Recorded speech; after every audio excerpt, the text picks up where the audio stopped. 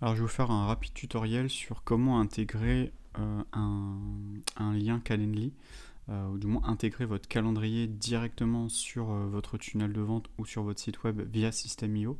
Si aujourd'hui vous êtes sur System.io, si vous n'êtes pas sur System.io, bah, je vous invite à découvrir un peu plus l'outil et j'ai fait toute une formation disponible gratuitement sur ma chaîne YouTube. Donc là, on va parler de si aujourd'hui vous avez créé votre, votre lien Calendly. Donc ici, vous avez déjà euh, créé votre Calendly. Je ne vais pas vous faire un tutoriel sur Calendly. Imaginons que vous avez déjà créé votre euh, tutoriel. Ici, vous avez juste à faire euh, partager.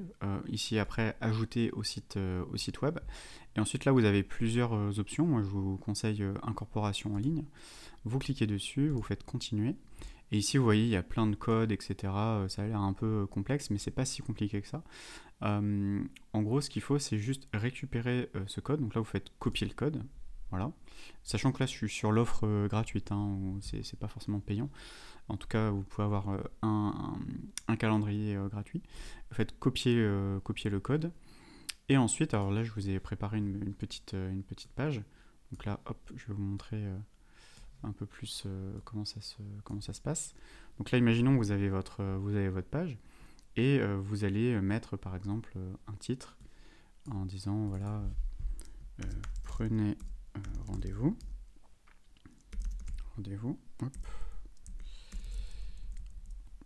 Prenez rendez-vous, voilà. Et ensuite, vous allez descendre tout en bas, vous allez cliquer sur code HTML, vous allez le glisser, le déposer juste sous votre titre. Et là, vous voyez, il y a code HTML, système etc. Vous cliquez dessus. Et là, sur la gauche, vous avez modifié le code. Vous cliquez sur modifier le code, et donc là vous avez H2 système machin, ça vous l'enlevez, et vous allez copier le code euh, voilà, euh, euh, que Calendly vous a donné, vous faites enregistrer, et là automatiquement vous allez avoir tout un espace là HTML qui se, présente, vous faites enregistrer, et là on va regarder un petit peu la, prévisualisation,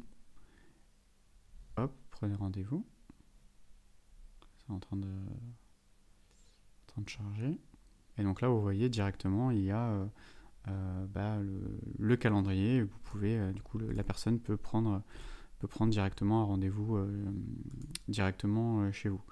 Voilà, j'espère que ça a été clair.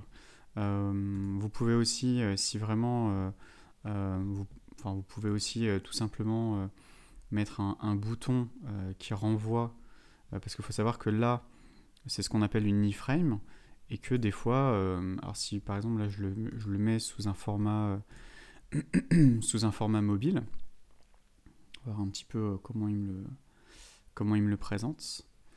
je ne sais pas si ça va fonctionner. je vais vous mettre en attente.